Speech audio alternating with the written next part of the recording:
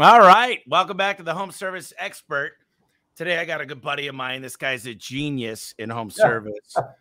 Uh, Ken Haines is visiting from the Atlanta market. He's an expert in marketing, operations, resources, and support, leadership, mergers and acquisitions, and business growth.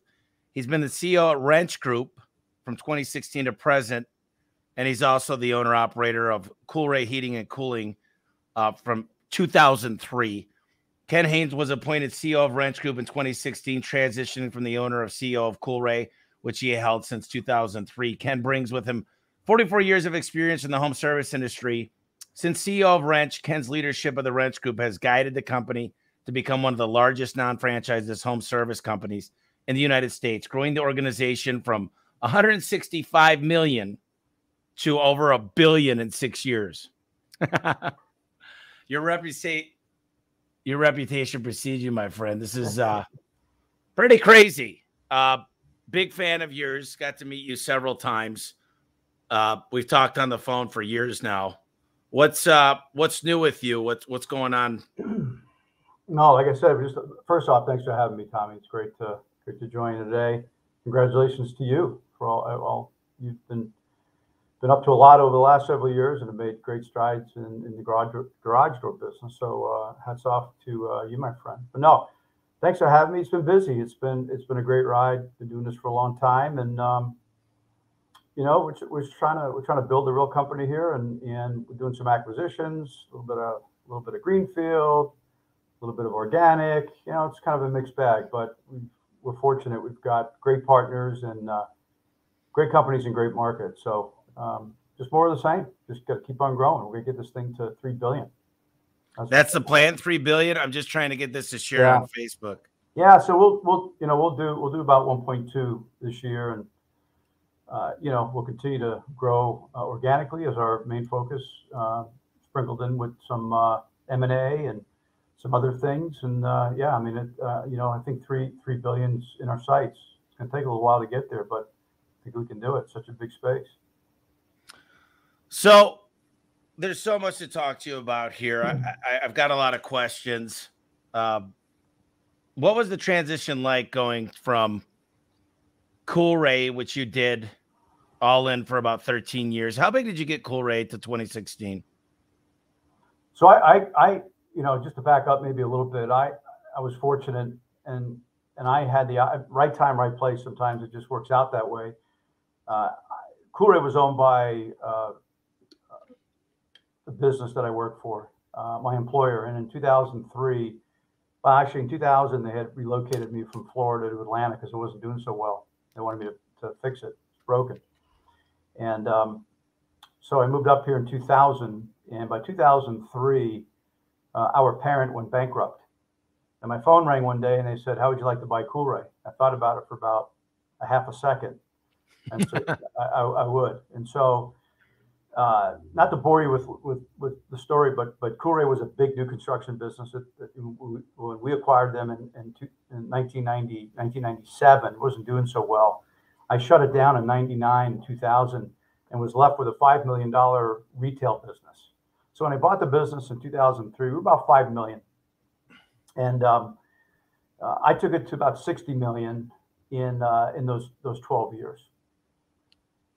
But you know, the, the transition was easy. I mean, it, it, you know, I'd been in the space and, and, and did just about everything you can do uh, in a business from starting out as a service technician in my early days in the late 70s uh, to running call centers and operations and sales sales folks and uh, to the to the front office and it was a fairly easy it was a fairly easy leap for me uh, you know in, in, point of me in July of 16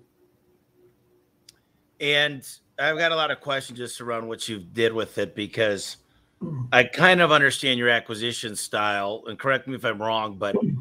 you're trying to buy some of the best companies, and you're not just saying you're going to adopt everything, but there is a reporting factor. But you're basically saying you're a great leader, you grow, build a great business, you're going to use our resources, but we're not going to change everything.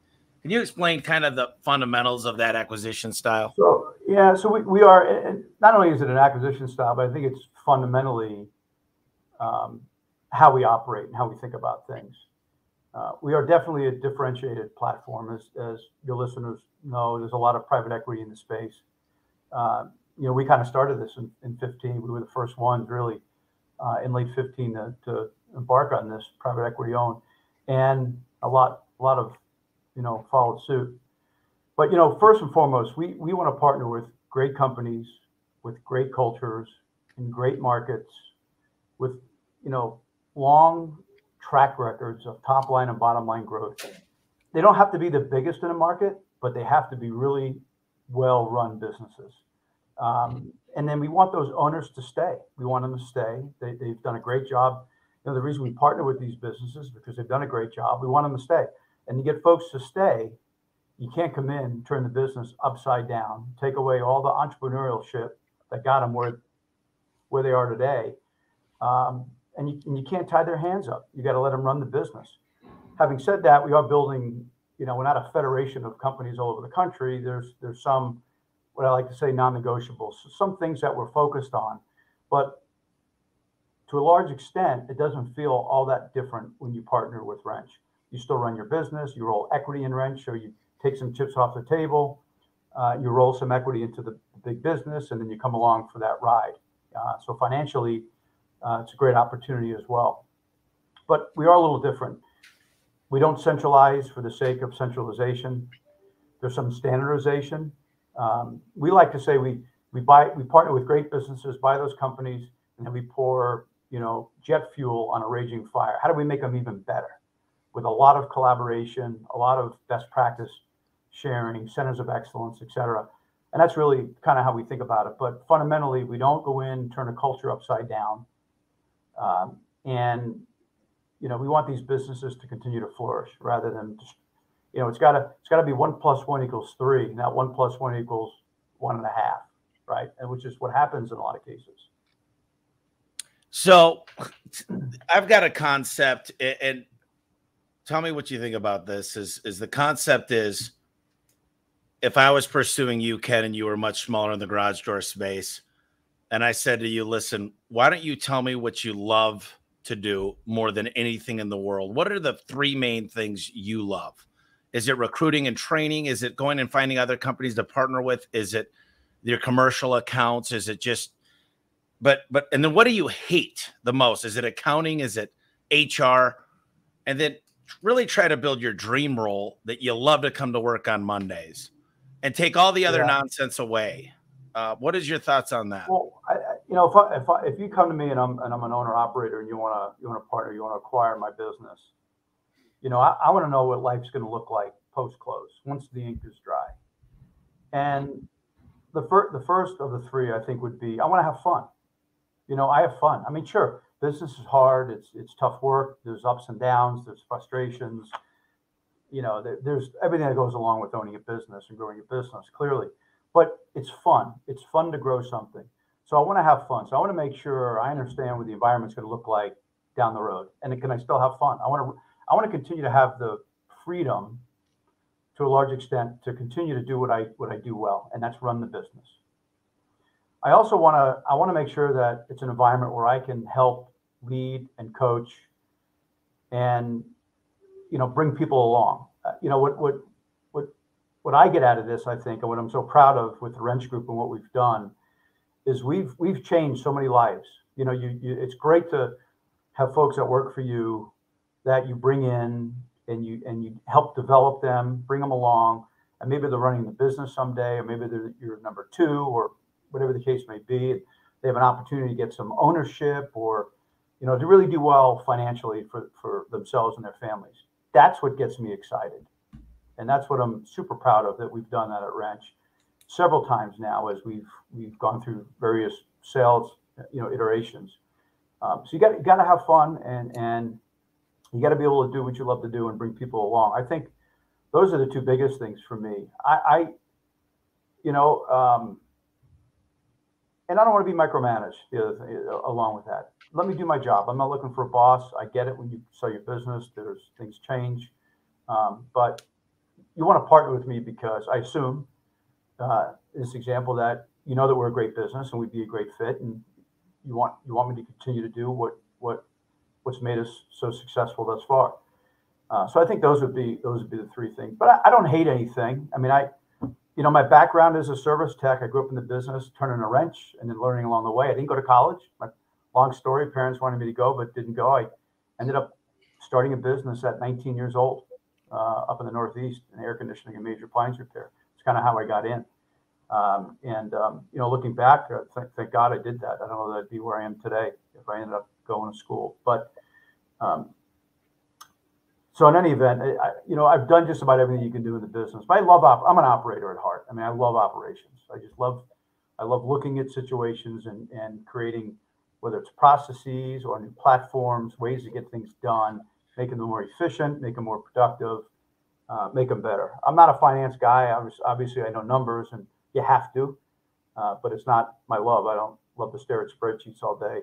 It's not not what I like to do. I like to get my hands dirty, if you will, and get out in front of people. And and uh, I'm an operator. So there's a lot of different styles out there.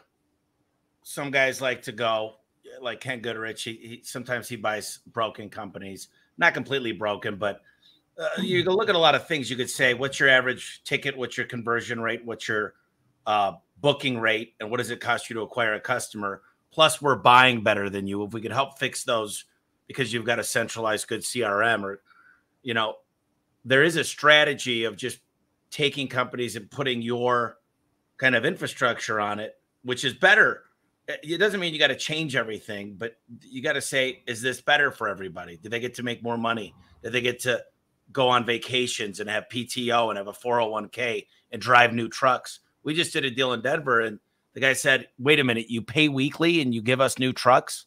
That's all we care about. Then we gave them the tools. But the, uh, because in my industry, there's not a lot of, you know, 5, 10, 20 million dollar EBITDA companies out there. I mean, those are hard to find what's your take on the, the, different strategies out there? You know, I think I think that I think there's look, there's different ways to, to skin the cat. I mean, I, I, I you know, I, I come from my background, you know, as you know, our space, the, the home services space, HVAC, plumbing, electrical, there, there, there was an attempt in the 90s to, to roll it up, if you will, consolidate. I hate, I hate those words because it's really not what we do. Um, and it failed. And, you know, if we learned anything from then. We learned what not to do. And I swore when I when I interviewed for this role in, in early 16 with uh, InvestCorp, which was really our first uh, private equity um, partner, I told them I said this uh, this is not this is how we're going to run the business because it's not going to work. You know, they were new to the space, and I'd been in the space 30 years already, uh, or more. Uh, you know, 30. I think I'm 45 years now, so probably 30, 38, 39 years. I said here's how we're going to do it. It's not going to be a roll up. It's not going to work. It will not work. It's not sustainable. I want to build a business that when I'm long gone, this thing can, is continuing to flourish and grow. If I walk out the door and a handful of our team walks out the door and it falls apart, we, we, we clearly, you know, didn't build this thing with legs. And so, having said that, there are different ways of doing it. There's other private equity owned platforms in our space and outside of our space that that have more of a roll up mentality where everything is done from corporate they take the autonomy out, uh, a lot of the entrepreneurial spirit out. They put a lot of systems in place, and, and here's the book. Here's how you do it. It's just not for us. I mean, I think there are certain things you have to do to, to standardize. Some things maybe even centralized. Um, but I think you have to be very strategic around that and make sure you you we we we don't do anything that impacts our people. I, I, anything that's going to change the culture, or or for example, we don't drive pay plans from Atlanta. Corporate Wrench Group corporate is not telling Parker and Sons in Arizona in your backyard uh, what to pay people. And we don't say, well, you know, we pay differently in, in Northern California or in Florida, so you have to do it that way. So we're going to make it all the same. It doesn't. It doesn't. It doesn't do anything. There's no benefit of that outside of saying we've centralized it or standardized it. Um, you know, and so things. That's just one example of of things we're just very careful about. But but others have other strategies, right? You know, you mentioned Ken Goodrich. I know they buy some broken businesses. I, yeah, I'd rather I'd rather pay top dollar for a great for a great business, uh, and make it even better. I, I don't have the time to fix stuff. I, you know, sometimes businesses break and you have to fix them, but I don't want to buy broken businesses uh, you know, out of the gate. It's just not, it's just not what we do. So you mentioned you're able to do one plus one equals three. Obviously, you guys got buying power through Service Titan, through every major HVAC plumbing company out there that you're able to use the buying power of the whole. You guys are probably able to get better insurance plans. You guys are probably better to get a better price on vehicles. And, it, there's probably 27 softwares I use at A1. And we're able to give that buying power.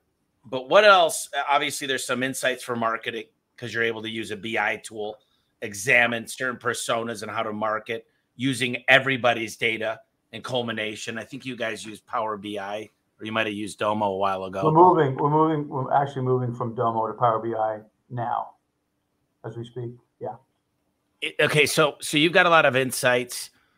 Um, there's obviously probably some some recruiting, the, the power of the team. Where, where would you say the biggest movement comes from the wrench group versus well, you, you know, for the new partner? Yeah. So we, we really focus on on five key enablers, five things, five levers, if you will, that we, we like to focus on. Uh, one is around finance and operations, right? Uh, a lot of collaboration. It's it's the power of Wrench. It's it's it's we've got a lot of smart people across the organization that are really successful, that built incredible businesses. They all do things a little bit differently. So there's not one best practice. So so there's a lot of collaboration and, and what we call these centers of excellence, people who lead these user groups, if you will, in the organization to help one another, whether it's how to sell HVAC or how to, you know, how to increase your margins, how to run a call center, um, how to market. I mean, you know, just a handful. There's about 20 of them, uh, and they're led by typically by location leadership uh, and supported by corporate. We help facilitate it. So a lot around operations, around collaboration. Sure, we, we do benefit from. We, we haven't centralized purchasing the way you th- you're thinking about it, but we leverage our purchasing. There is an opportunity there, but it, it's difficult to do. It's one thing that we'd rather focus on some other things. I'd rather focus on things that are going to help grow the business at, you know, 20 to 30% a year versus how do I save one or two million by buying a little better and, and making everyone's life miserable in the process? Changing people's garage door brand, right?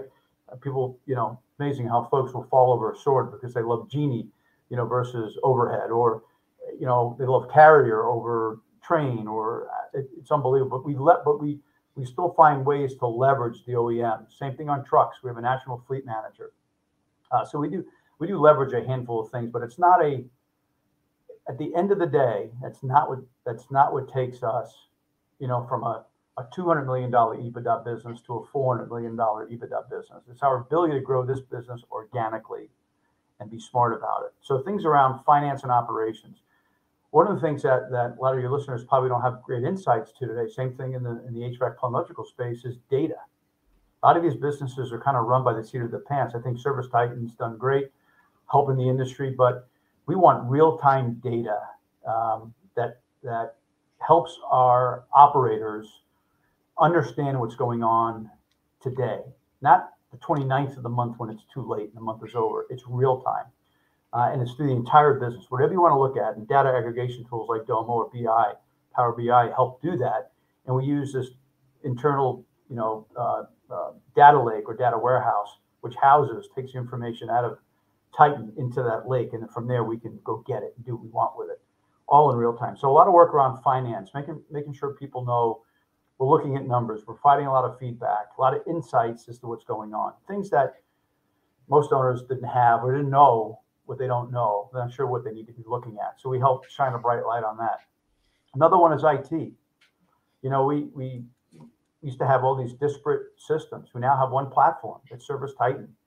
Uh, so as people join, uh, they all get on. They're all onto the platform, onto our instance, onto our financial book of record, and then we use then we use Power BI and a host of other software. So it's going to some, so having commonality around software and IT, uh, cybersecurity. Um, so a lot of, a lot of, a lot, you know, it's the biggest, if you look at, if you look at our staff at corporate, we have roughly 60 people. Half of that is, is IT focused. So it's a lot of work, a lot of investments around IT. So that'd be a big change at the location, getting them on our getting them on our platform. A lot of folks already on Titan, we acquire them because Titan's made such a you know such great inroads, but they're using QuickBooks and they don't really use the system very well. So we help them, you know, use the system as it's designed. Marketing is another one. Uh, while we don't centralize marketing, you know, we're, we own all things digital at corporate, uh, along with our data lake and Adobe Cloud Stack. Uh, we have some really interesting insights into our into our, our data, uh, and and we've been on this digital transformation journey for four years now. It's painful, uh, but we're starting to get some of the some of the benefits and see some of the rewards from that. So marketing is another big one, uh, and then of course, you know, we're focused on strategic M and A. You know, partnering uh, with with more great partners in markets. So another big piece, and then you have human capital, right? I mean, there's two things that prevent you from growing. One, your ability to spend money in market to make the phone ring, and the other one is having capacity. And and you got to have both, right? You got to make the phone ring, and when you do make the phone ring, you, you got to be able to get out to people. And in the HVAC space, and it's 118 degrees in Phoenix, you can't tell people I'll see you in a week. Uh, so you got to be same day, next day, year round, regardless of the weather. And so we've we've got this shared service um, concept around recruiting, uh, where we own recruiting a corporate to, to an extent. The, the, the locations own the last mile, if you will. Uh, but we're we've shined a, a, a floodlight on recruiting. Uh, and as a result, it's it's paid dividends, and and you know we'll be able to bring you hear stories around shortage of people in the trades. And while that's true, you know they're working for somebody. We just got to get them working for us. And so that's been another big focus. So we own that area of HR and then benefits and stuff like that. You know, you know we're self-insured around around health and 401k and handbooks and you know some of that sort of that, that sort of stuff. It's really those five enablers, and then those details underneath those five areas. Outside of that, we let the businesses run. You, you know, the only problem, and tell me, I'm sure you ran into this, but if you've got different pay grades per market, do you guys ever let a Parker and Sons move to Atlanta and vice versa for a change? Because then you're like, oh, well, now you're going to make less because we pay different here. It just, to me, it seems like you've taken a lot of stuff in house and you almost want them growing into the whole company. Now, I know that there's some some pros and cons, and we could do a whole SWOT analysis on this. But what do you do with that circumstance? Every mark, every market's different. Cost of li- cost of living is different in California. It's obviously probably the highest in the country, um, and what folks make in in you know LA is probably different from what they make in Sarasota, Florida. Benefits are the same, 401k is the same, health's the same. Uh, the pay grade may be slightly different, but so to answer your question, yes, you can transfer within, right? With we're one company, so we encourage that. Obviously, we want folks to stay, and if they want to relocate, great. Come on, you keep your tenure and everything. You know, whether they're making twenty dollars an hour or twenty four dollars an hour, you just you work through it. It doesn't it doesn't happen that often where it creates a big issue. But the fact is, pay grade. I mean, it's not going to be exactly the same because market dynamics and cost of living varies from from state to state, market to market. It just does. So, you know, when I think about the Godfathers, and I'm switching up a little bit, but that's a great answer, and that's absolutely true. I just I've got so much to ask, so I'm just gonna keep firing questions at you. Um, HVAC spells wealth, Ron. He was really doing different things in you know 60s and 70s. Is that somebody you you've spent time with? You know, Tommy, I missed the name. Who's name? Uh, Ron um HX spells Ron well. Smith. Yeah, Ron Smith. Uh, Roswell, Atlanta guy. I, I, love Ron Smith. You know, I've worked with Ron a little bit. Um, he owned a business called Service America uh, down in. Uh, there was another name for it down in in Southwest Florida. I want to say Naples, Fort Myers area. And, yeah, it was. Yep. Yeah, and one of the first companies I I worked for when I when I moved from the Northeast to Florida in the um, in the 80s. Uh, we were owned by a business. Uh, we, we were a sister company of Roto-Rooter. Everybody knows who Roto-Rooter is. And we were changing our name, uh, and we hired Ron, and we, we actually bought the name Service America from Ron uh, because we were, we were going national. We, we, couldn't protect the name we had at the time uh, in all states. In Service America, we could. And then we also we, we were a service contract business. We sold service contracts to folks on fixed incomes, but retirees that had relocated primarily from north to Florida, and we sold these full, fully insured, if you will, service contracts. But we wanted to get into the retail space, so we found out there wasn't a ton of money in in just selling the insurance piece and doing all the work. And so we hired Ron to help launch us into into retail sales. Uh, we worked with Ron and his daughter. I can't recall his daughter's name now, um, who worked for him for a long time. In fact, she made she's now involved, I think, with with CAG, um, Conditioned Air Association of Georgia. Her name escapes me, darn it. But in any event, so I, you know, look, Ron Ron was big, and it's a big thing for me uh, and for Wrench. Ron was big into service agreements or service ma- or maintenance plans, and that's a big part of Wrench's business. And I am a, I think it's single-handedly the most important thing you can do if you're in a, a, business that that you can lock people in, make the relationship sticky, build a fence around their home. It's great for the customer, but it's also great for the company and it keeps your techs working year round. So we learned a lot about about the importance of maintenance from Ron, and and, and frankly, when you look at lifetime lifetime value of a maintenance agreement customer versus a non, which you know because we love relational versus transactional, right? uh, you know, the difference in lifetime value is incredible. And so it's a big part of a business, keeps our techs working when, when our competitors uh, are unable to because it's a shoulder month and they're slow and there's no demand for, for HVAC uh, specifically. But so we learned a lot from Ron on maintenance, and he was in. Ron's got a whole book on maintenance agreements, right? Uh, and so you know we we learned a lot from Ron. I like Ron Smith quite a bit. He's a he's a legend. You know, there's a lot of people came out of the Jim Abram days, even Alan Rohr. I mean, really, there's so much that got built off of that. And then, you know, right around the same time, Frank Blau and George Brazil were working on Nexstar. Uh, what, what is your take on that? There's a lot there, but I'm just curious. And I know you're not going to belittle anybody, but just what is your take? You said some stuff have gone south in the past, but overall, there was some success out of like Nexstar is amazing for a lot of people. But what is your take? I asked you two two questions in once. Uh, really, what was one hour air Benjamin Franklin and Mr. Sparky, and then you know the Nexstars of the world. Well, I think I think one hour was an operator for the most part, right? I mean, you know, a lot of these, you know, Contractor 2000 became Nexstar. You've got the other one, Airtime 500. I don't know much about them, honestly. Uh, I, I, think Nexstar is phenomenal. I, I, we, we all belong to Nexstar. We've got some really big, and we don't we don't require or shove it down our location heads' throats to, to participate. Frankly, I mean, you know, Parker and Sons is, is a giant in in Phoenix. I don't know that they're going to benefit a lot from a Nexstar, but we have lots of companies uh, that that benefit and participate in some of the training. They do a great job. They they they churn incredible businesses. Uh, they provide fantastic support. Uh, they help they help a lot of folks get from startup all the way to 20, 30 million plus.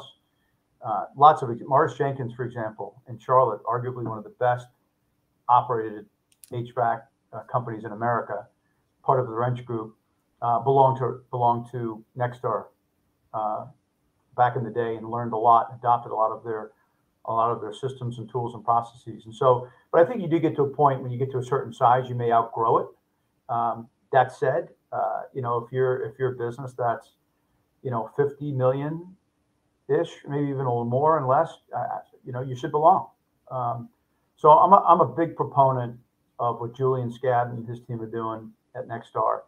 They're trying to figure out how to deal with the whole private equity in the space uh, stuff, but th- they will. I'm confident they will and again, I don't know much about airtime. Uh, Frank, I know Frank Blau, uh, but never met. May have met Frank once 20 years ago.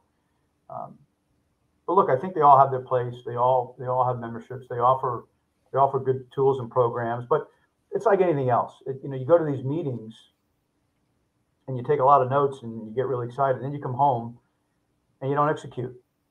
So if you can't execute on this stuff, Uh, what's the point? And that and that's and I think it's probably a frustration from a lot of these these these uh, affinity groups that teach this stuff, and then all right, let's we got to get it implemented, and that's where people struggle is in the implementation. Yeah, Julian does a fantastic job. I admire him very, very much, and uh, he's always been a great friend of mine. And he definitely deserves a thousand shout outs because he's doing an amazing work there in Minnesota. And he comes from Atlanta. You know, he's got a great yeah, story. Right down, right down the street from where I sit right now. You know, you brought up Morris Jenkins, and I'm curious. I never got an opportunity to meet those guys, and I've heard amazing things. What is your take on Roy Williams? Uh, you know, I know Roy. I, I, li- I like Roy. I, I I started working with Roy. I never hired Roy to help me when I owned Cool Coolray, but one of one of, a good friend of mine who also works for one of the big uh, big fifty thousand watt sticks here in, in, Atlanta radio station, uh, AM Talk.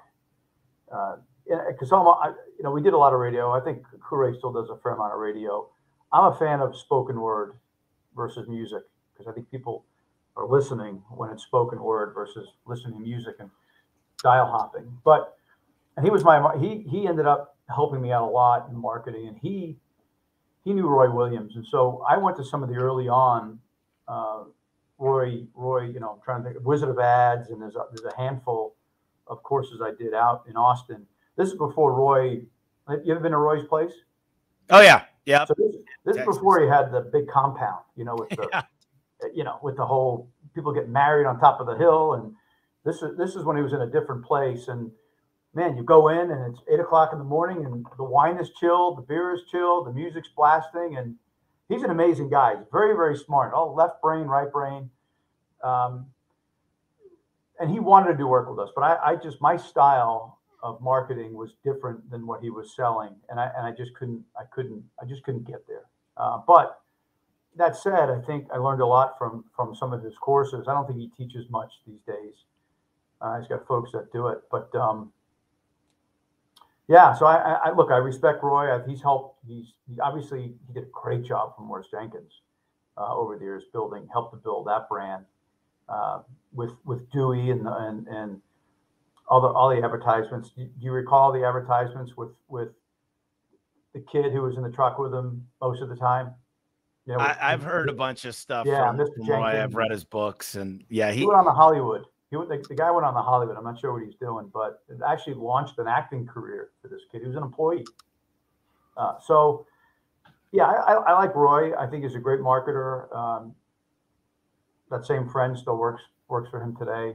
Actually, works for him directly now uh, versus one of one of his disciples. And so, um, yeah, I, you know, look, I think Roy's in the space. He's he he does a he does work for a bunch of bunch of organizations. And I think he's doing I think he's doing a good job. So, get th- this is a tough question, and I know you're not probably prepared because you've got a lot of mentors and people you look up to. One of mine is Al Levy. He came in and helped me out a lot, the seven power contractor.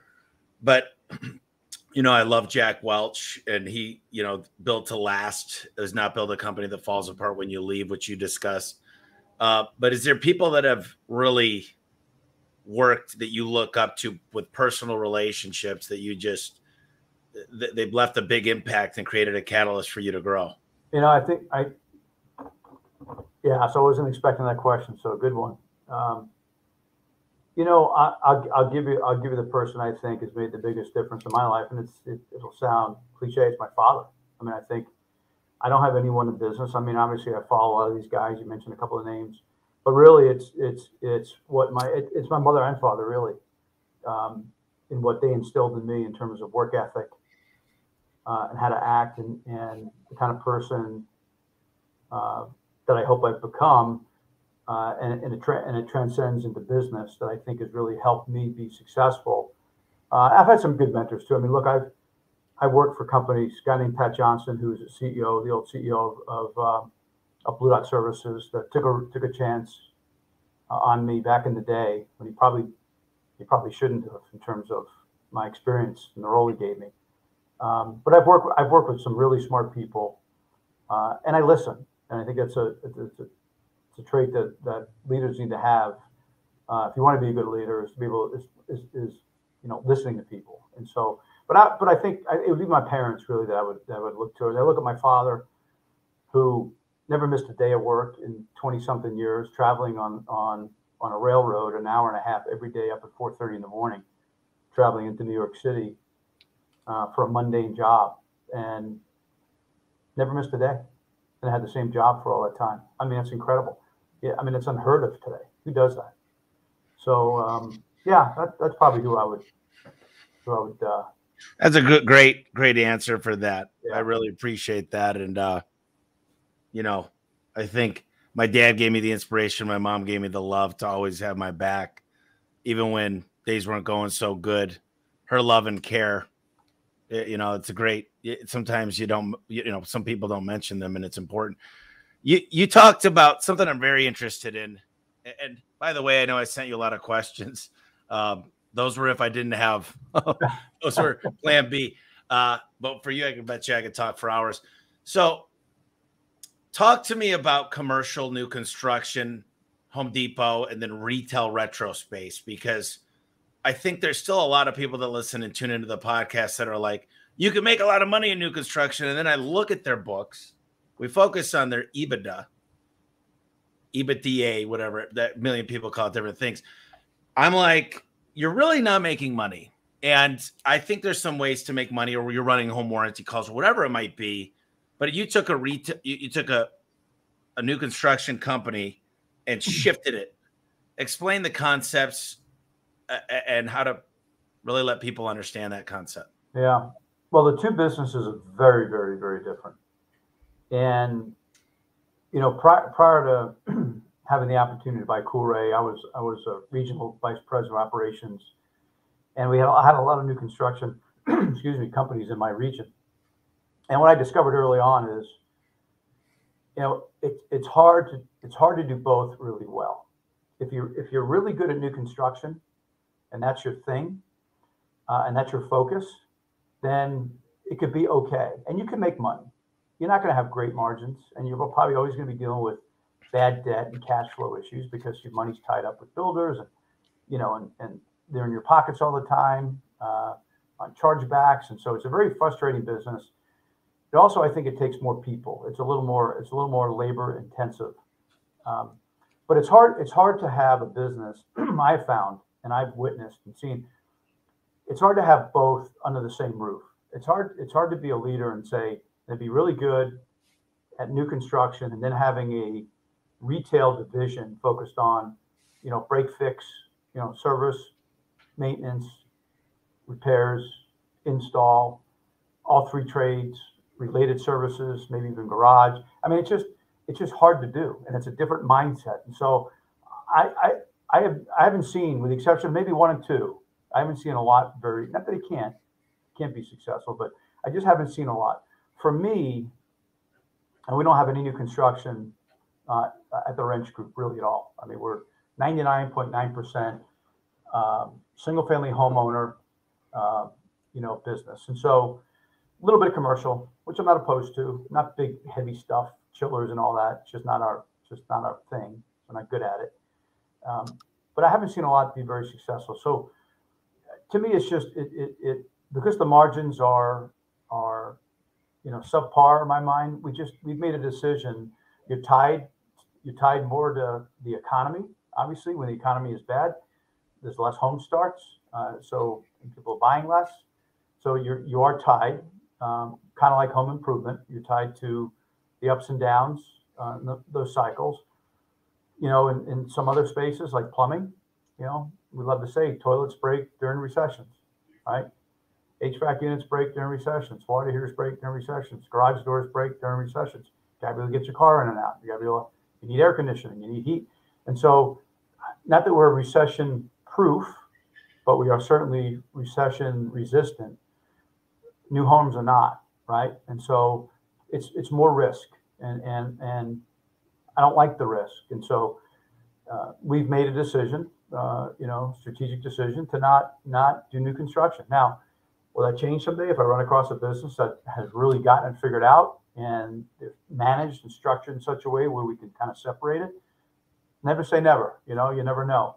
Uh, but that's kind of my spin on on new construction. And, and you know, I don't I don't like I don't like bad debt. Uh, I don't like having a bill. I love COD, getting paid same day.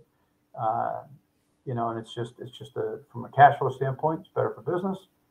You know, all the reasons. So that's my spin on or take on on RNC. With respect to what we call retail, which is Home Depots and Costco's of the world, Lowe's of the world. Again, we're very strategic there. Um, we like the space, but we like it a certain way. Um, it, can, it can only be a certain size relative to the total. Uh, it, it, won't be where it's 30, 40, 50% where one customer is massive and, and which, which poses a lot of risk if, if they fall out of bed and you lose that business. So that'll never happen, sort of like an ARS where, you know, they've, they've over the years, it's just become this monster. Um, to me, that's risk I don't want to take. So it's got to be a certain amount, no more than a certain amount of our sales. Uh, one customer, no more than a certain percent, and then in total, amongst a, a, set of customers, no more than a little bit more than that. Uh, so that's number one. Number two, it has to stand on its own two feet. There's a term in the in that business called flipping sales, which companies will take their, that that participate in the program will take their own sales and they'll give them to one of the retail stores so they can hit their numbers. I said, look, we're not going to do that. That's just if we can't figure out a way to make the program work, we can't get our close rates up, we can't get our average orders up, we can't make it where it stands on its own two feet, then we're not going to do it. We figured out how to make it work, uh, and it's become a it's become a, a, a, good part of our business. Home Depot and Costco are, are, two great partners of us. We love working with them. We have a great relationship. Uh, we, we, we use it also to expand into new markets when we, uh, as part of our Greenfield initiative. Uh, that's worked well. It gives us an instant jump start in markets where we're starting from scratch with no brand at all. Um, so we, we love the relationship. Um, you know, I'm hopeful that it will continue on, uh, but it is strategic in how we how we think about those partnerships. So I'm not going to ask you for the secret sauce when it comes to those box store agreements. But here's a question, and I think it's a little bit different in garage doors, but we have stickers, big ones on your garage, big ones on your opener, hopefully on the wall. And those are impressions you're seeing every day. And I know some new construction companies that get 70 calls a day, but they don't want to run them. They're like, uh, because they're not good at retail. Yeah. I think there's a real big opportunity there of somebody that's generating 50, they've been there 40 years, they got stickers on every door, they hate retail there's an opportunity to work with those companies. Now, do you want to take on the new construction? Maybe not. I think if you get them on the ServiceTitan and show them they're running around in circles for no money and they didn't realize it, and you get them on Intacct and you point out you're actually losing money, you just didn't have the accounting figured out. It's not really a hard decision. And I'm not trying to convince you. I'm just wondering if you have any insights. If someone's getting well 70 calls a day without google well it, you know look it's interesting and in fact the biggest you know if you're going to make a decision to do new construction and retail the biggest decision point in that would be in my mind you just said it is the fact that you get access to all these future customers right that's the one thing that these businesses don't do well so the whole reason for doing new construction, because you're you're sacrificing margins, but you, you're building this big database of of, of future uh, homeowners that are going to buy from you. Right now, there's rules around you can't just stick your. At least back in the day, I don't. It may have changed, but a lot of the builders don't allow you to to sticker up their home, if you will, until the home sells and it's out of warranty. Then you can reach back out to them. But certainly, if you had the ability to, to to sticker the house up, uh, obvious who installed the garage doors. It's obvious who installed the HVAC system. They're looking at the system. It's got the big old sticker on it, uh, and then market to them as well. That's a that's a tremendous benefit and reason you may want to do new construction.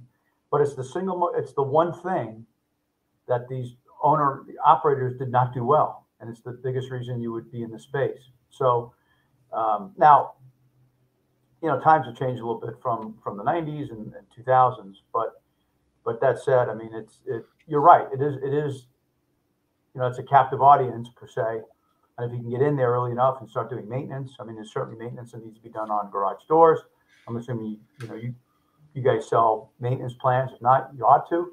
Uh, I'm sure you're all over that. But you know, you want you want the relationship sticky.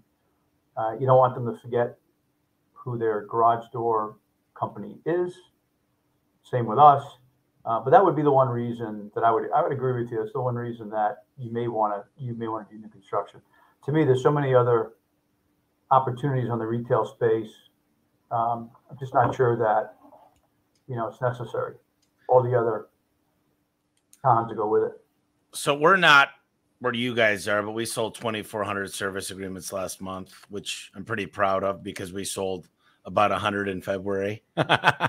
so it's it's what gets managed, what's get measured gets managed, and it's yeah. one of those things where you've got to just you've got to instill this into their scorecard, and you got to constantly be coaching on these things. It's not like you just say, "Hey, we're starting a service agreement, go sell it," or "Go recruit people." It's you, you got to slowly and continuously. I, you got to drive it. You got to drive it. You got to drive it every day. You got to like anything else. You got to drive it every day. People need to understand the vision and, and the plan, and you got to man it. You got to you got to shine a light on it. You got to measure it. You got to provide feedback. Uh, you need to have a goal. Maybe it's the goal. Maybe it's thirty thousand by you know twenty twenty five. Get it up on a banner. Get it in front of folks. Make it everyone's job to do it and drive it like anything else. And it's amazing how things get done when you do that versus the you know the alternative. Hoping that it just happens on its own. Um, let me ask you another question. And, and this, so I, I, I was with two coaches of the Cardinals last night. We got an opportunity to go to a Q and A, and it's pretty enlightening because these guys say, you know, as much happens on the field those three hours we're working 18 hours a day six days a week off the field. And the way that i relate that to home service is i just spent three and a half hours doing uh, i do a, a special presentation an orientation with the new guys. There's 24 of them this month. And i take them through everything i've learned and why we do things a certain way. But that's what i call practicing off the field. I don't want people learning to do garage doors in customers' houses. And so we we I, when I used to play football, we did two a days. We'd practice twice a day to play one game a week. And some days those were on weekends. And I think that whole concept of home service, here's a wrench, follow me for 2 weeks and you'll be good. We we do 2 months of training before you're even and then we do polishing for another 2 weeks. So you're almost a quarter of your life. And then there's ride alongs coming back to Phoenix, retrain, training the trainer, constant, constant, constant uh, an investment into the people. What is your hmm. take on that? I mean, I, I mean, I think it's great. I mean, you have you have to do that. People don't need to understand the direction, understand the plan. They also need the tools, um, and you need you need strong. You need you know you know. It's all about it's all about we like to say it's all about the man, not the land, right? Or or woman, but in this case, you know, inclusive sense. You know, so it's it's you know, it's amazing how many folks go through business. They don't write down a business plan. They don't really have any personal goals. Uh, they don't, and, and, and as a result, folks in the direction it's just kind of operating without this roadmap. Nobody really knows what's. Just kind of maybe you get lucky every now and then. You have a good year. Um, but in the end, you're not going to get to where you want to you want to get to. So, but you got to communicate that strategy as well. People need to know where the company's going, uh, and so you have to you have to invest in that. I mean, it's great that you do that, but you, have got to, you know, uh, that message has to make its way. And it's tough. We've got over six thousand employees. I can't possibly get in front of everyone. It's just not it's just not humanly possible as much as I would love to. So we have to find ways to do it differently. Get the message to, to locations who then can take that message down all the way down the rank and file uh, to make sure that we're all, you know, pulling pulling the cart in the same direction. It's not easy.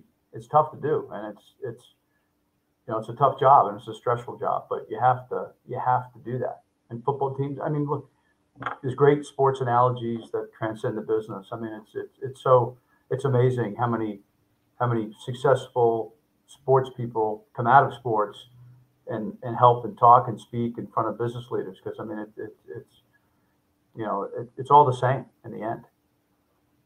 You know, I'm working on a book called Elevate: Build a Business which everybody could win, and the main focus is as much as I could tell people we're going to hit 200 million, whatever.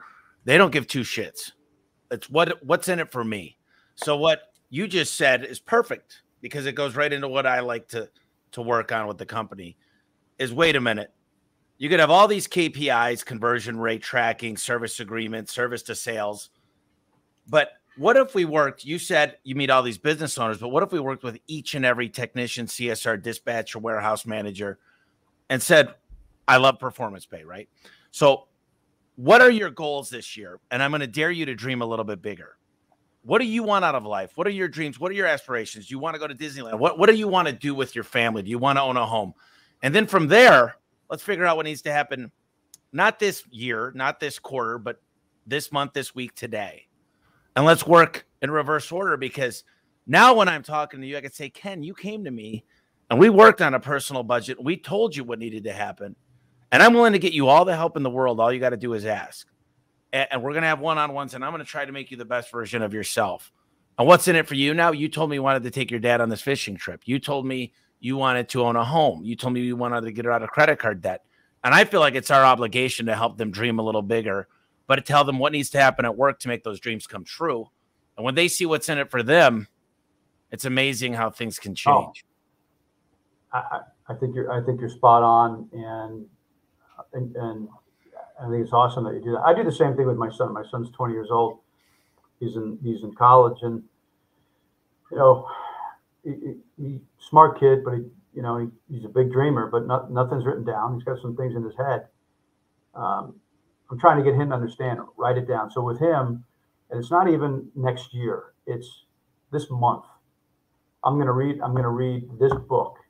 Kind of, kind of, he's a little bit younger, right? So doesn't have all the life experience that, that folks that are working for us may have. But, you know, for him, it's, it's, it's write it down and then tape it uh, to the mirror in your bathroom and look at it every single day. Every time you walk in there, brush your teeth, you know, take a shower, whatever, look at it. Remind yourself of what that what that goal is. That you know, and that's the 15th. I didn't read, I didn't start that book, or you know, I want to do whatever, whatever it is. And so rather than rather than have those goals too far out, which are sometimes hard for people to grasp, break it down into shorter shorter time frames where it's just easier to easier to to to, to grasp it. And so, but I think it's the same. I mean, it, you know, you know, for the tech, it may be it may be a motorcycle. I want a motorcycle next year. Well, let me show you how you can do it, and and lay it out. It's it's amazing how many people do not write their goals down, or business owners that don't write down their business plan and involve others in the organization to help get there. Yeah, you you know, right? you're it, it, well, having a budget and then having a budget that you could actually hit.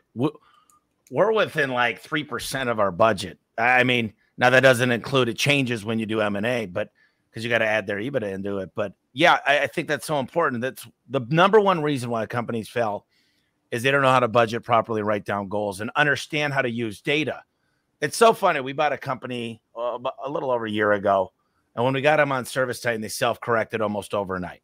They were like, holy crap, we didn't know this dispatcher was this bad. We need to retrain. They didn't know that this tech had this bad of conversion rate. They didn't understand. So when they realized the data that was accurate, because we've got a data integrity team, it's amazing how people are like, whoa. Or if you show them in numbers, we built out a calculator for the technicians that they plug in all their stuff and it goes, here's how much you can make a week. But it's great to see a year and a quarter and a month, but it's great to see a week and to say, if we moved you from here to here, this is what would happen. So this is what's in it for you. And I, what I figured out, Ken, is if their dreams come true, so, so do ours. So do our budget. So do everything. And there's there's a reason for everybody to win. And I wanted to, while we got a few minutes left, what do you feel about equity incentive programs?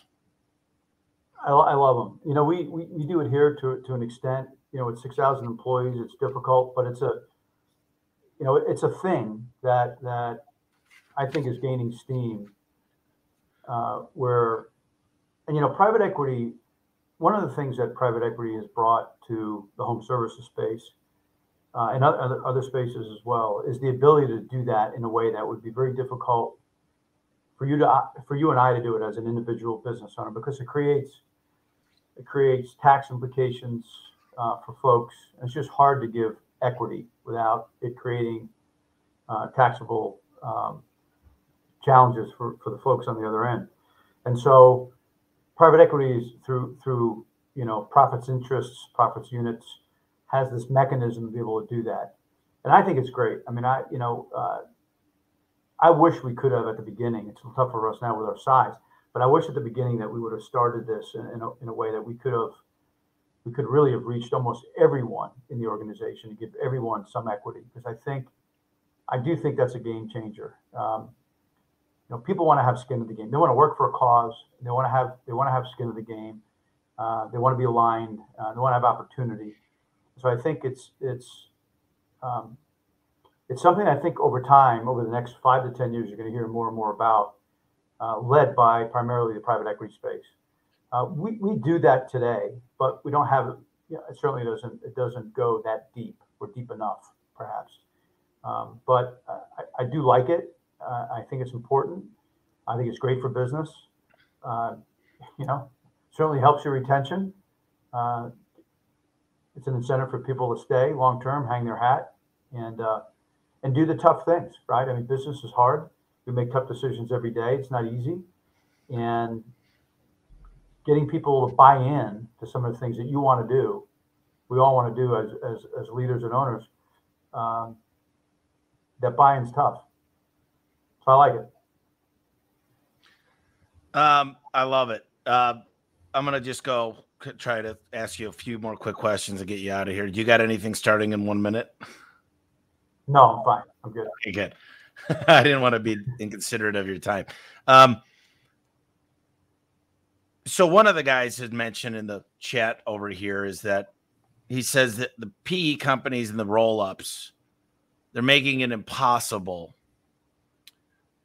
to compete. Now, uh, you know, I was the guy in a truck running all the calls. So I, I understand what it's like. Luckily, I got in in the early 2000s. But now that we're big data, we understand insights. But we have company. Like literally, I have 10 full time recruiters, 10 full time trainers. We've got a special relationship with Dodge, with the Sprinter, uh, Pro Masters we worked really hard to build this up into a real company. Yeah. And I'm not going to belittle anybody and say the guy selling fruit on the corner is not a real business. But the problem is if he doesn't show up, the business doesn't run. So I always ask people, is that something to where you really feel like you're best off competing when you can't when you go to sleep at night are you still making money? Because I promise you, if me and you were to go to Hawaii for a month, my company would not skip a beat hopefully some of them would miss me, but they wouldn't. Some of them wouldn't. I promise you. But ultimately, what do you say to somebody that says, "Man, these guys are impossible to compete with. They're buying that we can't outbid them in pay per click." Mm. I, I, think there's something to be said about creating relationships. It's David and Goliath. Goliath still won that, or David still won that battle against Goliath. So ultimately, what what do you say to somebody that's saying, "Yeah, Ken sounds great and all, but he's putting us out of business"? Yeah. Well, you know, rising tides rise rise all boats. And I think I don't know about I don't know about the the, the overhead door space, right? Garage space. I will tell you, and I don't know how big. Tommy, you can tell me how big how big you know how big is the space nationally for for overhead? Uh, I'm not happy with the study we did, but it's between 14 and 15 billion just residential retro. Massive. Um, HVAC, plumbing, and electrical is about 130 billion. Private equity owns less than 10% of it. So the, the, our spaces, our space, the home services space, the ones that we we operate in, um, sure, private equity has, has, has acquired a lot of companies, but they're still relatively small. It's still a mom and pop space, and it's always going to be largely a mom and pop space, especially spaces that that have a lower barrier of entry, that it's easier to get in, get started, get rolling, doesn't take a ton of capital, uh, maybe some investment, um, and then some some real grind. But there's no question that I think, but I do I think it's good for the for us, all of us, because you know they want to grow. They want to professionalize it. It's been largely an unprofessionalized, undercapitalized mom and pop business for a long time. I think they're shining a light on that, and it. I, I think ultimately it will help. Right? Maybe they are driving up cost per pay per click. Uh, they certainly have deeper pockets to be able to spend money. I just think it's gonna it's gonna create the need for you to get better for the for your asker. I mean, your uh, you know audience. I mean, focus on things you haven't focused on. Deliver better customer service. You can do that. Uh, you know, be smarter about how you go about business. Hire hire better people. Um, uh, you know, work on work on retention. Uh, you know, you know things that you can build capacity to compete and be able, be able to get out to people quicker when other mom and pops can. So I think there's I think there's ways for you to compete. I hear what you're saying though, but but I do think it will rise all boats, and over time, you know, it's it's the space is always going to be dominated by by the independently owned and operated. It's just going to it's just so big with so much white space that it's it's it's massive. So I wouldn't be too concerned about it. Yeah, I think that's it's great. You can focus on other things like relationships and affiliate marketing with the people you know. And I can't go to a BNI meeting right now. I don't have the time. So there's a lot of opportunities that are more deeper ingrained into the community. You know, I used to hate the word corporate when I was young because to me it meant coffee drinking, slow moving. And now there's a word for me that everybody says Tommy's very entrepreneurial. And what I take by that, sometimes it's good, sometimes it's bad, is I like to get things moving. Now, maybe they're not as thought out. We fall down a little bit along the way, but I don't like to go to a committee and say, "Hey guys, maybe next week we could talk about an idea and get it done in a month, and then maybe it's it's." I don't like the idea of slowing down. I don't like the idea. So now I take entrepreneurial as a really good thing, but I'm just curious because corporate to me is like you're kissing your boss's ass. You're trying to move to that next level. Uh, uh you know, it, it, all of a sudden there's rumors, and it just. Uh, I just want to be more family oriented, and if that's call me small business, call me entrepreneurial. What does that mean to you? Well, I, I don't like the word corporate either. I mean, as, as, it relates to, you know, our our structure, Wrench is the parent, if you will, and that's corporate. Um, but I don't like big slow, bureaucratic um, um, organizations, and we're not that. And so, you know, we work we work really hard to not be that. I mean, sometimes you, you get caught sometimes and things slow down and some bottleneck, but we're very very careful to not create that environment for all of our wrench, you know, um, locations and partners. Uh, I'm not going to say it never happens, but we we really, you know, it, you know, if you think about our size and how many people we have supporting locations, it's small. We only have, we'll have 60 this year in a business that'll do, you know, 1.4, 1.5 billion. That's not a big overhead you think about it. Um, so we, we, we try we try to focus on things that that make sense that we can if we can't do it better and more efficiently and and assume it doesn't change culture we, we, we don't do it we just don't do it uh, but we don't we're not this big bureaucratic corporate machine. Um, but I think I think at the location level, you know, maybe moving to the location level. I mean, I think the same thing. You know, pe- people people want to work for a cause. They want to work for a leader they can get behind. Um, you know, they, they they you know they want someone who who is a great listener, who's appreciative, who has humility. Here's a term for your folks I forget where I heard this, but you know, be interested, not interesting. I don't know if you ever heard that, Tommy. Yeah, I did. I right. like that. Isn't that great? I tell again, I tell my son that all the time. My son wants to be the life of the party. It's like, you know what? Actually take a minute to slow down and listen to other people. It's not about you. Not about you. Be interested, not interesting. And so that's how I've always run my business prior to Wrench when I owned Coolray uh, and, I, and that was a big part of the culture. And then, you know, servant leadership. You're here for people, and you build trust. Uh, that's that's really been my philosophy, and it's been pragmatic in that two things always come first: our team and our customer. So everything we do is grounded in those two things. How does it impact? And so every decision we make, how does it impact the customer, and how does it impact our employees. And if it doesn't impact them both in the right way, you don't do it. And that, and that's really been my. You want to break it down to you know to easy. That's really how I've operated my business, and now uh, you know uh, corporate as well. You know, I, I have a philosophy in the new book that says when you build a company that everybody wins. So I work on OKRs for the vendors. What's your one year goal? What's your three year goal? How do I help you get there? What markets aren't doing well that I could go into that you could help me out? How could we get my guys loaded out quicker? But what do you need?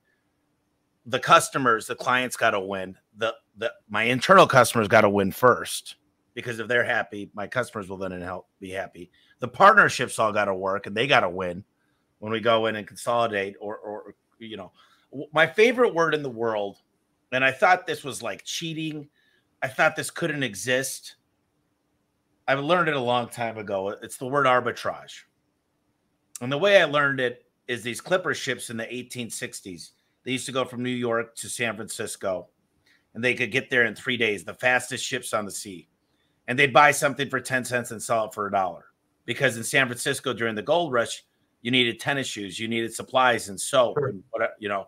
So that's arbitrage. When you buy in a market and sell it in a different market, it's arbitrage and, and what gives companies value is there's certain thresholds you hit that you figured out systematic approaches to to getting an outcome you want okr outcome and key result and the systems are starting to run the company michael gerber uh, the e-myth revisited what is arbitrage to you and how important is it do you love the word like i do oh i love it but you knew that already I mean, look, that's that's really what we're doing. That's how that's how private equity makes money, and everyone else who's coming along for the ride uh, makes money is through arbitrage. And so, you know, how do we leverage? How do we buy? To your example, I mean, it's spot on. How do you buy something for a dollar and sell it for ten? You know, that's the arbitrage, right? And so, you know, we're trying we're trying to build a business, um, and we're buying companies along the way right, at, at X multiples and at X dollars. We've got to continue to grow them, and organically is the best. You know, here's the deal: if you want arbitrage, big secret. Don't tell anyone I told you this. Grow organically. Grow organically. Well, the rule of seven: if you grow ten percent a year, seven years in a row, you just grew hundred percent. And guess what? And you and you didn't spend you know, 15 times somebody's earnings to buy them, which now you got to sell at 20 to get some arbitrage, right? Or on, on the multiple. And so grow organically, invest in ways to grow your business organically. And then everything else, M&A is icing on the cake, right? Find great partners, great markets. Already, not to repeat myself, but great companies, great leaders, great markets, great cultures, and stretch for them and then help them grow and make them even bigger and bigger. You know, we partnered with Parker. Um, you know, in 2015, Parker was around. Gosh, I want to say 80 million, 75 million in sales. Maybe 200 million this year. That's all. That's all organic. I'm not even including the couple deals we did that are growing like crazy as well with with um, um, with the Greenfield in Tucson. That's just Parker and Sons. So think of that arbitrage. Uh, that's all organic growth. It doesn't. I mean that that's that's where it's at, and that's why we're focused on all the things those enablers I mentioned. We're focused on things that help organically grow the business and get some leverage on the bottom line. Just get a little better every day and add just a little more leverage, and that's so, how you that's how you get it. I've always looked up to Paul. He's always been in my backyard. I've been watching these guys at the 16th hole and um, the waste management. And Josh has always been. That had to be. I'm sure that was pretty pretty. Oh yeah, yeah. Well, Paul. About his three o'clock in the afternoon. Yeah. Uh, Paul and I get along great. He's just he's probably one of the best operators out there. I mean, there's Geiger, you know, there's you, there's Ken, there's Goodrich, there's there's um, um, lots of great operators, uh, but Paul just what, what would you have to say? Because he's your biggest, he's the biggest wing of Wrench Group, the one thing, you know, Phoenix and Tucson now. What What would you say if you had to give me a few qualities that you see in him? Well, I know, I know, um, I know Paul for a long time. We go, we go way back. Paul grew up in in the Roto-Rooter organization. I mentioned Roto-Rooter that I was part of that as well. So we go back 30 years. Uh, and so I've known him a long time. I can tell you all the bad qualities too, but you, you don't want those. Paul's a good and, and and look, you know, one of the smartest things that he that he did over the last several years is hire a guy named Daryl Bingham. And Daryl has been running that business really for for a long time. Paul's been involved. Paul's kind of taken more of a regional approach, but Daryl's been really turning the dials and pulling the levers. Paul's been a part of it. Paul's passion is marketing. So no surprise that his son Josh is is has got it into marketing as well. And so that's his passion, really growing businesses and, and the marketing. He wrote a little book called Tada, right? I don't know if you saw it. Yeah. A lot, a lot of his marketing tr- uh, tricks in that in that book. Um, but you know, he was also smart to understand that you've got to get the right people in the business alongside you. Uh, and so outside of marketing, that's what he did. And and and Daryl's the operator. Uh, that's the glue in that business, and and a huge supporting cast as well of, of good operators beneath beneath him that uh, have gotten that business where it is today. So Paul, Paul's passion is marketing. Uh, that's really if he, if he was here, that's what he would tell you. Yep, and that's usually great founders are great marketers and they're good at sales. Last, uh, last closeout questions here. I do this with everybody. Is if someone wants to reach out to you, I know you're a busy man. Is it LinkedIn a good source? Where's the best way to, to reach yeah. out?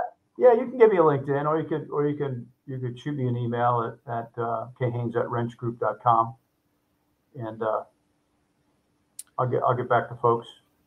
Happy to take questions offline. I know that um,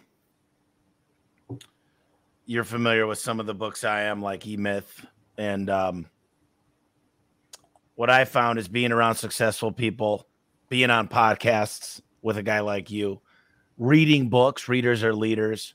Is there any books that you recommend? Some of them, Napoleon Hill, and, and uh, you know, they ask you answer market share. Uh, my favorite book is uh, Dale Carnegie, How to Win Friends and Influence People. Is there anything that you'd recommend for reading? I've read that one, read all, all of his books, uh, and went and did a lot of his his did we, did we do any of his workshops where you got to get up? I mean, talk about being young and getting up in front of a group at a Dale Carnegie meeting uh, and having to having to speak. You know, when you're when you're 20, 22, uh, you love to speak. So for you, it's probably super super natural. But you know, it's funny. Full disclosure, I'm a little a little um, ADD. So growing up, I can never sit still long enough to read a book. I started reading a little bit later in life, but a couple of books that, I, that I've you know for those that you know, really want to figure out strategy and put together a plan. I mean, one of the best books that I read was it's called Strategy Pure and Simple Too. It's it's you know how winning companies um, dominate their competition. I think it's by a guy named uh, Mike Robert. My boss gave me that book back in uh, '97 uh, to read, and out of it came a template uh, one, get the impetus to, to, do it, right? It's hard work and how to involve your team and do it. But from that, uh, a template that was born to how to how to put together a real strategic operating plan uh, for your business. So that's the one I would recommend. The other one is I like leadership books. I mean, one of my favorites probably uh, a guy named Rick Pitino. Uh, you know, a great. You know, he's the first coach. You know, to bring you know three different teams to the Final Four. Um, super highly successful uh, uh, guy that doesn't take shortcuts. Um, and, and, for and the book is around how to build an inspiring uh, um, organization, right? Uh, basketball for him, business for us, and so that's a book. Uh, it's called Success is a Choice, I believe, if I remember. And you know, I've read you know Good to Great's another great book for those uh, you know starting a business to really understand um, how to operate and think about things in terms of people. So, you know, good to great. Rick Pitino, Success is a Choice, and then Strategy, Pure and Simple would be the three. And then the Dale Carnegie books are great. Uh, those are great reads, pretty quick, quick reads. But you know, I should probably read more. It's just that uh, you know I'm old now. I'm, I'm in bed by eight o'clock. I, I, I pick up a book and, I'm, I'm a, and I fall asleep. So it's uh, You know, Leland mentioned a book at Ryno X, which I wanted to speak real quick about, but he mentioned Bob Bob Pfeiffer, How to Double Your Business in Six Months or Less. And it was a book written in the 90s. And it really is about getting controls of the money. Because I think the financing side of things and knowing when to grow and when to not grow, and understanding that some people in your organization will spend your money quicker than you could make it. So, understanding where the money's going. Um, but you know, you've got Ryno X coming up. I love Chris Yano, great guy. You're going to be there with with a lot of very successful. Yeah, I missed business. it last year. I missed it last year. It was uh, my wife had booked a vacation out of the country, so. But I'm looking forward. I did it the first year. I'm looking forward to getting back. Yeah, I like I like uh, like Chris, and he's doing a great job, and that'll be a lot of fun. Well, sure. hopefully, I'm pretty sure. I'm pretty sure I'm invited. So, um, I, I, enjoy watching you guys. Just some of the the leaders of the. I, I, love the fact that I could take what you guys have done, and anybody. Uh, my podcast is to all home services. The success leaves clues, and if you yeah. can take what HVAC has done, HVAC has always been the leader. Lots of brilliant people in HVAC. It could be applied to other industries, and I just love that concept. Uh, and you know what? It's not you know, if you think about it, you break it down, it's not unlike what we do, wrench, and how we're built, where it's a lot of collaboration. It's a, you know, we've got some of the best businesses in the business, and we're learning from one another, right? Versus jamming it down your throat.